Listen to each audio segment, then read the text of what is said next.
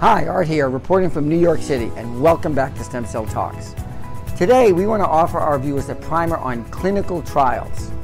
Often, when StemSave reports on advances in stem cell applications and regenerative medical treatments, we reference clinical trials. Given that many stem cell treatments are in clinical trials, we thought it would be a good idea to describe the different phases of clinical trials and where you can get information on clinical trials that may address a need you or a family member might have. First, the basics. Clinical trials means that the treatment is being tested on humans. Prior to entering clinical trials, researchers do extensive lab studies, including tests on cell cultures as well as animal tests, typically starting small with mice and moving on to larger mammals such as pigs before commencing human trials. If the research is promising, investigators will register to conduct clinical trials. There are four phases of clinical trials. Phase 1.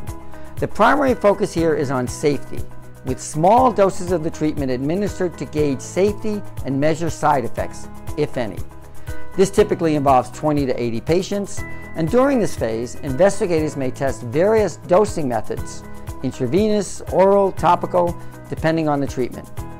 A successful phase one trial allows researchers to advance to phase two. In phase two, investigators administer higher and variable doses to assess ideal dosage parameters and to measure efficacy. This typically involves 100 to 300 patients. A placebo group, that is a group of patients that are administered a harmless substance, may be included in this phase to gauge results.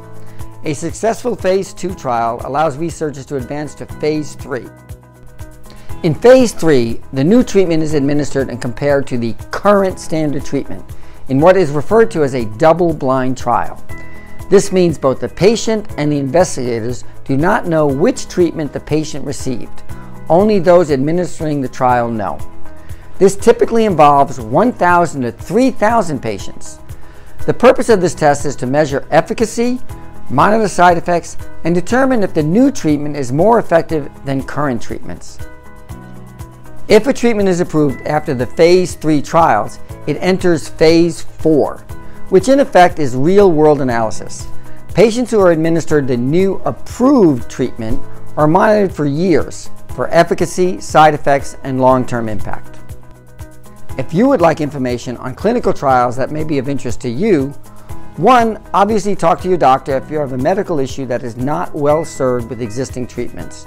And two, go to the website clinicaltrials.gov. That's trials with an S and .gov. It lists all registered clinical trials taking place around the world. And the search function enables you to home in on specific conditions or treatments. That's it for today. Don't forget to like us and to subscribe, and we'll see you again soon.